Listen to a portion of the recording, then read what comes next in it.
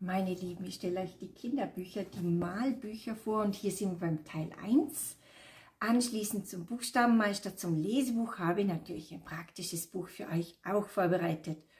Und ich zeige euch das Besondere, das Teil 1 ist natürlich sehr einfach gehalten. Der hat quasi nur die leeren Buchstaben, natürlich immer in einer speziellen Farbe hier blau, B, blau, Großbuchstabe blau. Und ähm, diese Buchstaben gibt es übrigens nirgends, die habe ich selber geschrieben.